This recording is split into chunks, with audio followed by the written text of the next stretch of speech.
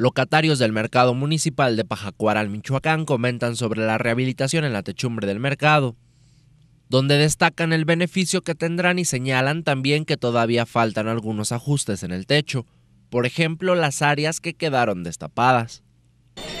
Pues tardaron cerca de un mes, menos de un mes.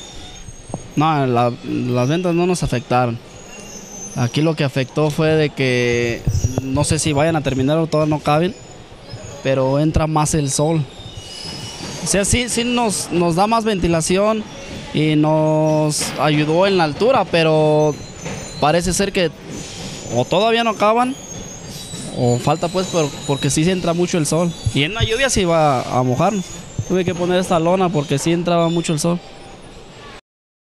No, o sea, primero cuando estaba el, presidente pasado, se llevó a cabo este proyecto de hacer el mercado, pero quedaron muchas cosas mal, ¿sí? Se anegaba el mercado cuando llovía y, pasaban pues muchas cosas. Y, ahorita el, presidente actual, con la petición de todos, levantó para arriba porque estaba muy caliente. Yo digo que está muy bien lo que hicieron, pero pues quedaron cosas que no, que no acabaron de terminar para mí, para mi gusto, porque quedaron partes destapadas donde ahora a nosotros nos afecta el sol, nos afecta aquí, mire, ahí, ahí está, ahí que no lo dejo mentir, ahí está, ya está afectando el sol.